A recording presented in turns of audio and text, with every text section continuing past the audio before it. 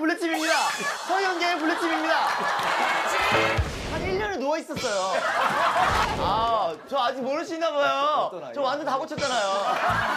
성형 고백이 토크 아이템이 될 정도로 아이돌의 성형 수술은 데뷔하기 위한 하나의 수단으로 여겨지고 있습니다.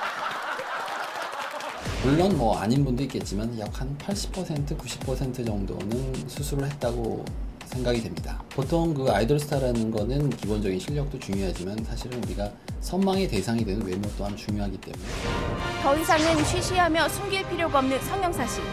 문제는 다른 곳에 있었습니다. 제가 처음으로 밝히는 사실이에요. 여자 아이돌 중에서 이렇게 밝힐 수 없어요. 사장님께서 어, 너 좀 사진에 좀 눈이 흐르게 멍텅한 것 같아. 이- 이래서 쌍꺼풀 있는데 그냥 한번 찝은 거예요. 아, 코는 너는 높일 필요가 없어. 그냥 주사 한 대만 맞자. 치아는 원래 사람, 사람에서 제일 예뻐야 되는 부분이야. 해서 치아 바르게 교정만 한 것 뿐입니다. 기획사 측의 요구사항대로 성형이 이루어지고 있다는 것인데요. 본인의 얼굴을 단지 기획사가 원하는 방향으로 고치는 일이 벌어지고 있습니다.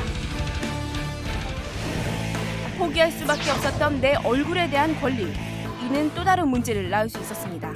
준비 기간이 너무 길어지면은 이게 혹시 이제 본인이 안 되는 것이 어떤 실력 부분 때문인지 아니면 외모 때문인지가 정확하지 않기 때문에 우리가 성공하지 않고 사회적 주목을 받지 못하는 아이들 스타일수록 성형 수술을 좀 더 많이 하는 성향이 있습니다.